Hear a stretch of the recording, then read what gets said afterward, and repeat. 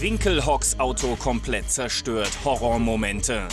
Das freie Training heute Morgen wird beinahe zur Katastrophe. Jamie Green überfährt hier einen Hydrantendeckel, der löst sich. Ein Streckenposten will eingreifen. Vergebens, Autos donnern heran. Und dann kommt Winkelhock. Der 15 Kilo Gusseisendeckel wird zum Geschoss. Streckenposten retten ihr Leben. Der verschraubte Hydrantendeckel löst sich aus der Verankerung und Mike Rockenfeller sieht beim Verlassen der Box direkt vor ihm 15 Kilo Gusseisen durch die Luft fliegen. Und habe nur gesehen, wie die Streckenposten sich noch geduckt haben. Und äh, ja, ist natürlich dramatisch und äh, zum Glück ist keinem was passiert. So richtig realisiert habe ich gar nicht, was los ist. Es hat nur einen riesen Schlag getan und, und äh, dann bin ich ausgerollt.